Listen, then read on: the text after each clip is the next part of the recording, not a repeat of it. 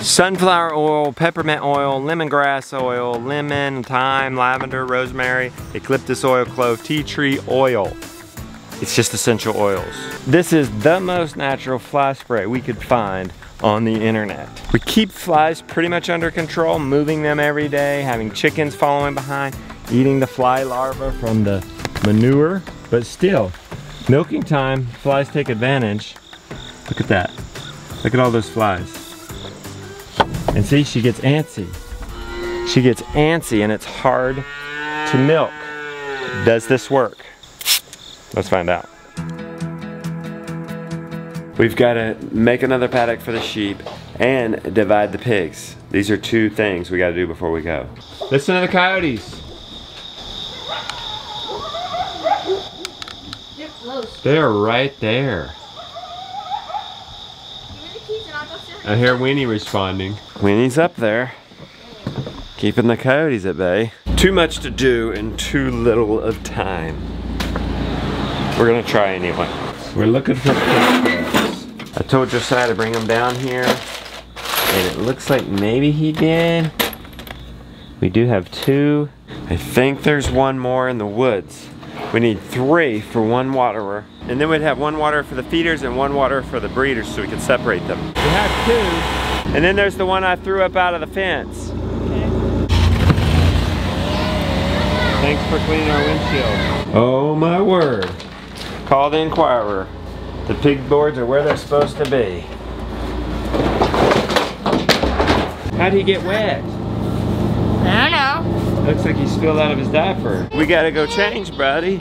Rebecca said the diapers need to be stripped. I don't know. It's a washing method she has to do every once in a while. All right, baby, let's get you changed real quick. I don't know, I felt pretty full.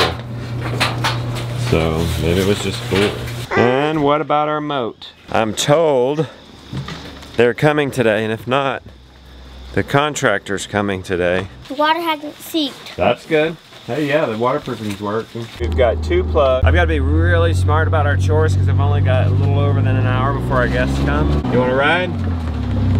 Good deal. And with too much to do and too little time, I have to think about the priority. I'm thinking I'm going to have to help them with these plugs. Like what do I need to do that they can't do?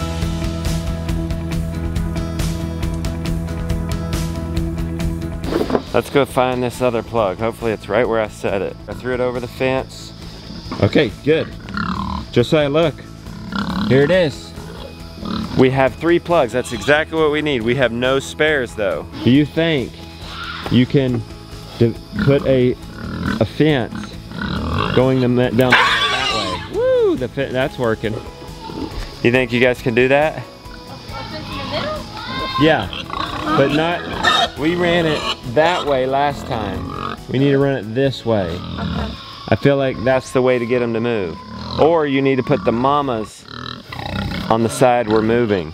You understand? I see. And the babies over here, you know what I mean? Which idea do you like better? The baby's on the outside. Okay, I like that too. Because then no matter where we go, the mamas are always in the front and they'll go over. And then the babies will then follow. We'll have a fence between them.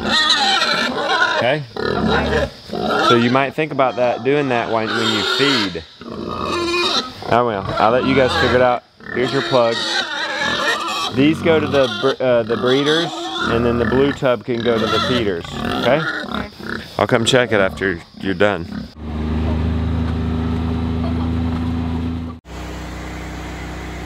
the mic anywhere? What y'all eating? Frozen pineapples? Yeah. Definitely don't have time to retrace, find that mic right now. I see you've gotten comfortable with the bridge. Thanks for running the coyotes off. Don't go, we're about to go. Hey, Blue, did you bring that? I'm very excited about this. Fly swatter by Synergy Animal Products. And a new udder brush for cleaning them. Thankfully the cows are there, but guys, we can all relate if we're progressing with, with times of time restriction. Too much to do and too little of a time. You gotta prioritize, you gotta prioritize. Wow. I'm not scared of it. I'm not scared of it because all it is is essential oils. That's handy. My mic cover just fell off right here. These things help reduce wind noise for you guys. Well, you'd probably love to play with that, wouldn't you? Oh my. Sound guys here. It's like time check. 745. Have about an hour and 15 minutes till we hit record. Hope, hopefully my clock's not wrong. I need to quit in 45 minutes to get ready myself. Hopefully he's just super diligent. That's probably it. So I had to make a decision this morning based on priorities. Now you have to base your priorities off of something. It could be the most important thing. It could be, like I end up deciding today, the thing others can't do. Let's unlock this. But we all have to leave the homestead to go to work, even if it's just to go inside and go to work. Actually, I'm or or over there. That's where I'm going to work today with the podcast. Here's another basis for deciding: Can I do it later? Generally, no, no, not generally. No, you can't milk later.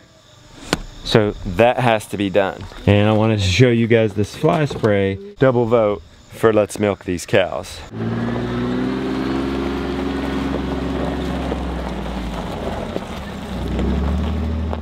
Tricky move today too. They're going across the street to the farmhouse yard. You're diligent this morning or my time clock is wrong. I just woke up early today. Okay, cool. We're gonna have to lead them out. There's a gate there, and then back down the road. And they're gonna have to make that turn there somehow. I'm thinking since I'm pretty much by myself, I can't have the little kids help with stud. I need to park the Sally in this road. Let's bring Sally, put her right here, and hopefully that'll stop them from going that way. I've unlocked you guys from your legs. Okay, y'all stand there. Man, that's a good looking cow. Those are the two I want to cut out. Look at those flies. We're coming at you, flies. We're coming at you.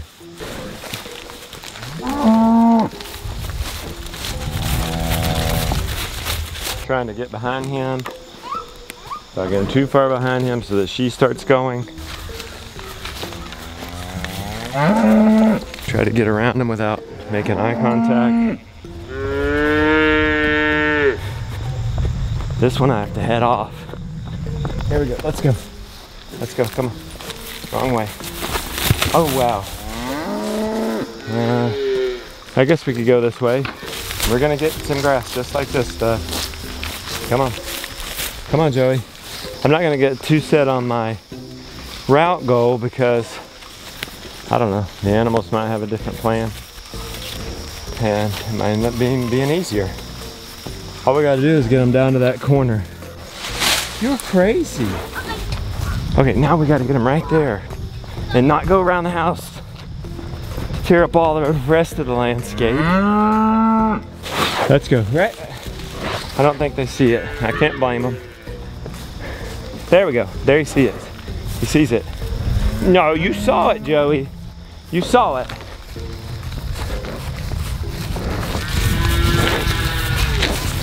No, no. Ah, what is this idea? Okay, we got Joey so close. Can we get Joey? Okay. I guess we're gonna walk you around the house. Thankfully, we're re-landscaping this house. No, not our juniper. All right, we're back to where I imagined we would be. Okay. Now wait. See if they go up the road there. All right, this is this is turning out to be impossible by myself. My, I wish I could help He's going the wrong way. You guys didn't work at all. Your legs didn't work at all. Come on, Joey, out of the garden. In fairness, he doesn't know what we want him to do. Okay, Rebecca, I need you to stand right here with a staff and don't let them pass. We're trying to herd him up the road. I want him to go towards Rebecca. Well, he's got an itch. I'm cutting him off from going behind the house. Mom's cutting him from going behind. There you go. We want him back on the road. Hey! Hey! All right, let's try to get a stud. Here we go. He sees it. He knows what we want now. Now there's no excuse. Woo! Now to get Joey. He'll want to be with stud. There he is. This is disappointing.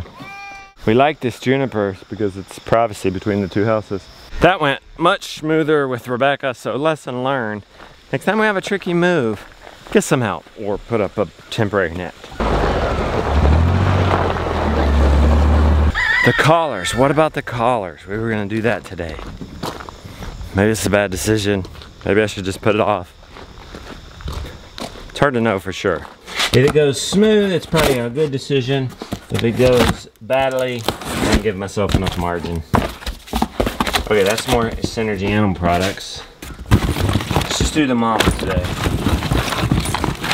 Hopefully these holes are right. If these holes are right and we don't have to punch anymore, it's going smooth. If not, then I gotta go back in the house to get the hole punch, and that's not going smooth. We just got 20 minutes. Let's leave Flossie there. We'll get her in the stanchion though a little in a little bit. Definitely need a hole punch, but I think put it on loose today and just tighten it up another day. Looks good, honey. We've got them switched. Flossie's in the stanchion. We need to get her eating though, or she's just gonna be bothering us.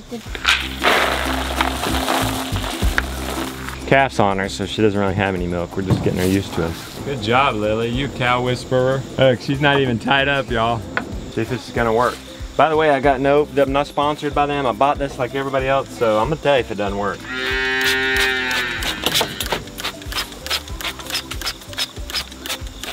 Looks like we're killing them. So they're gonna sprawl around and annoy her. And spray her and then grab that brush.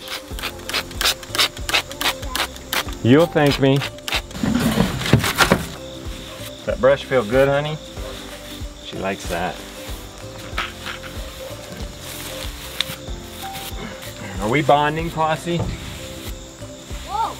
You think it worked? You think so, Floss?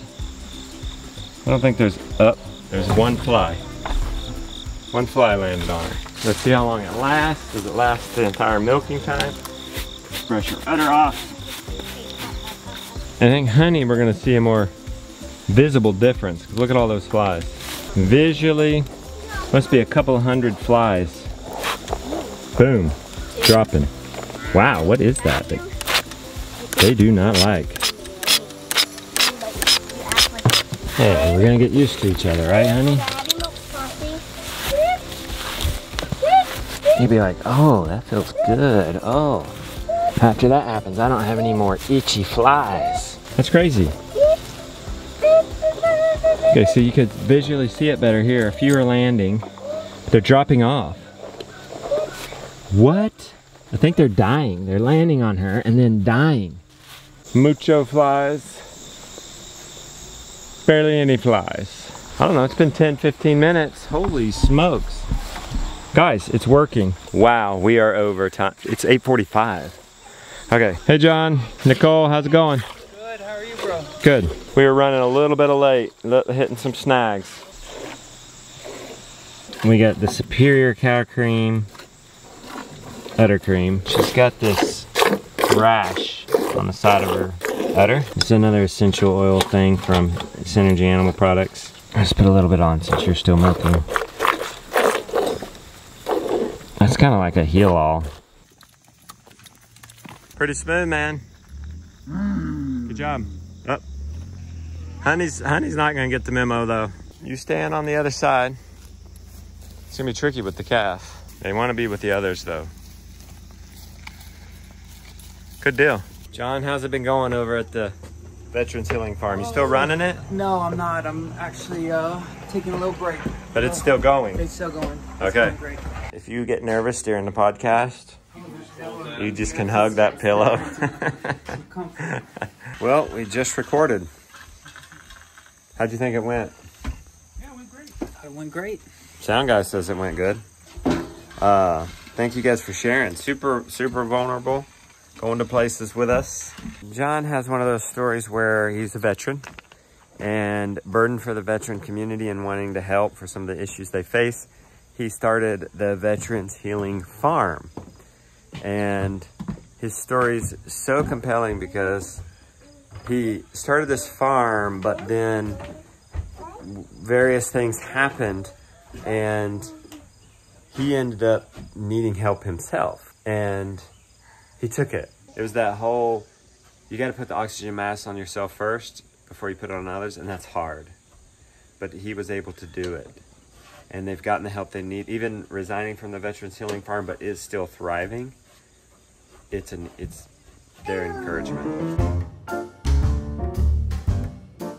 Bratwurst for lunch. That's like a super easy meal. Got peppers and onions cooking separately. little bacon grease in there. We learned to cut it up and then it gets fried on more sides. A little more butter. It's the burn it up cooking show in here for sure. Boom! That's a quick and easy homestead meal right there. And here's the key. Top it off with some sauerkraut. Just tested a live stream. Food did come out. Are you planning camping? Mhm. I'm trying to decide where we're gonna go. We accidentally found these amazing camp spots one time when we had to abandon ship so long ago. That's why I say this is our first time camping because we set up the tent and never We never slept in it. we had to come home. We had to come home both nights. We had to come home. How's that farmer's fast food, my man? Good. There's a rice? Yep, we got the rice going. If you haven't already heard, the School of Traditional Skills with Josh Thomas, I'm proud to be a part of it. They've already got 65,000 people signed up for this free online summit. It's free. And you guys will be able to, there'll be a live presentation with me on raising your own meat chickens. Did you find it? Well, I She think said she we, found we can check it out on the way there. We're going on a Thursday because hopefully there won't everybody ha- doesn't else have this idea because when we were trying to camp that one year, a lot of the camp spots were taken too. Back to the summit. This is not any old summit, guys. This this was a film production crew of four people, and the quality was absolutely amazing. I've never been a part of anything like it, so I'm very proud to be a part of it. The traditional skills you're going to learn though are absolutely incredible. Joel Salatin's got a lesson, Sally Fallon, Brandon Sheard on home butchery, uh, and many other things. There's a raised there's a raised garden bed one. Guys, I can't just eat pork. It get it doesn't sit well with me. I get a little nauseous. I know that's a curse for a carnivore, right? You can't eat pork. Come on. Oh, I guess I'd already a plate and didn't need to. All right. Anyway, I'm gonna teach you how to raise a year's worth of chicken in two months. I don't think you want to miss that. Sign up. I'll leave the link for it down in the description. The summit is totally free, and then you'll have the option to buy this. I guess it's a master class membership type of thing. Hey, we gonna eat? It's time to eat, Henry. He's into those batteries. Day two of a hundred carnivore. This time around, I'm doing pickles right off the bat, and I'm doing sauerkraut Alright, make some sauerkraut. because I'm relatively 100% sure those things don't affect me in a negative way. Maybe it's because they don't have carbs. Somebody on, on my Twitter feed said, maybe you're carbohydrate intolerant. I hope not. I hope I just have Lyme and I can get it at bay and eat sort of like a normal person. The cool thing about carnivore though, it is an optimal diet. Whether you need to have it because you have Lyme disease or not, it is optimal. I gave him his meat, but he's reaching for this butter. You want a piece of butter? Here. Dude's naturally a carnivore. I've got to go to an acupuncture appointment. I'm gonna leave you guys here with Rebecca. She's going to be prepping some meals for the camp out. I am back. Oh boy, they have gone through it. Oh wait, what you doing?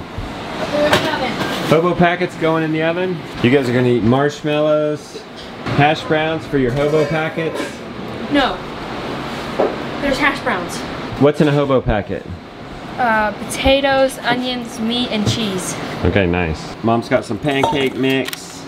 She already made the batter. Yeah. Hey, look at this. Is that to get it up to kitchen counter height? Yep, this was Jonah's. That's nice. thing. Is that the table we're gonna take? Yes. Are you done using it? Because that's probably the first thing we need to pack. You excited, Bird? Yes. It's the first time I've ever gone camping. Hmm. As much as we want to go pack the trailer, kids, guess what? We can't leave one project for another, as much as we want to. Let's clean this kitchen. We finished cleaning up, didn't have any time to go packing. But thankfully Grandma's having us tonight. We're having turkey. Thank you, Grandma. Look out y'all's window. How, how's that for a view? You guys been enjoying that? Yeah. Is that weird? Coming from Florida. What would your friends think? You got sheep mowing your front yard. I told Buddy, I That's said, nice view though. I said, Buddy, you better be quiet. John says he's gonna eat. But they're getting at something out there. Oh, yeah. Maybe I'll just set up the net and you can move it when we're gone. You can move them over. Hang tight. We're gonna show you guys their setup where they're going next. But let's eat first.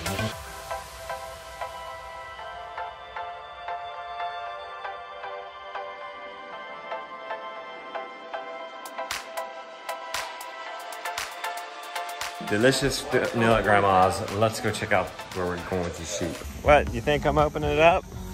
Oh look, they've trained the little ones. Good things happen when we come around. Okay, next up, right here, we'll block off the garden. We'll come in down in here. I'm gonna and capture this. This is what they really like. Yard's okay, but they really like this stuff. It's hard for me to know for sure if they're done. See how they're eating around these clumps? There's a reason they're not eating those clumps. And I don't want to force them to, so we'll probably move them out. Actually, Grandma said they're done with the garden, so I think they'll like that. We'll see. We'll see tomorrow. Will you guys join us tomorrow? Thank you for joining us today. I do hope you join us tomorrow, our last day, getting the farm ready for our departure for the big old family camping trip.